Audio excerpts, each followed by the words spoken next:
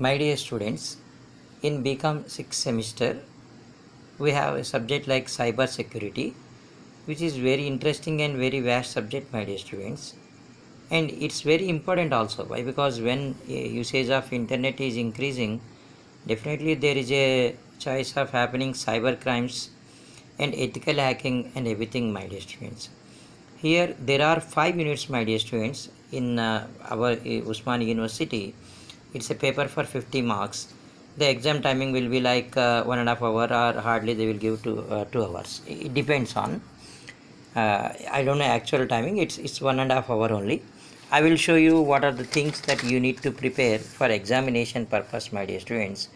You, know, my dear students, unit number one is a little bit lengthy unit a lot of things to learn in uh, unit number one if you consider internet access is very important uh, and there are many challenges in internet uh, governance.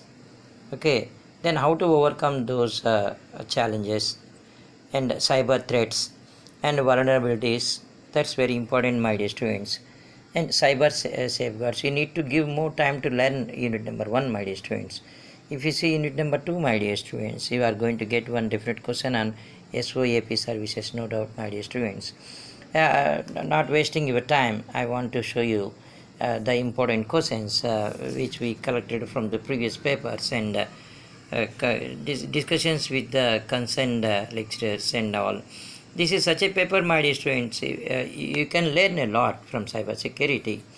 See, my dear students, uh, internet governance uh, basic security for SOAP services that is there in unit number 2 my dear students and uh, physical theft the, means uh, the theft of uh, like uh, CDs and any computer related uh, equipment that is said to be physical theft my dear students.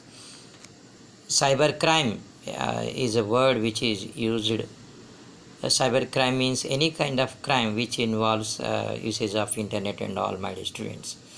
So there are many ways of happening uh, cyber crimes and uh, the other important questions if you see my dear student these are the questions you need to prepare. Have a look on this my dear student. The thing is the preparation should be in such a way uh, which will uh, give us o grade in cyber security my dear students. Uh, don't forget it's a 50 marks paper my dear students.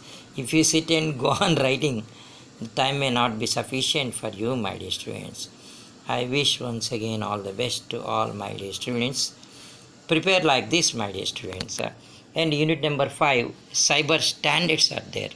So that uh, standards is uh, very much important my dear students and uh, cyber security policy 2013 and uh, and uh, some other 2020 is also there that is also important.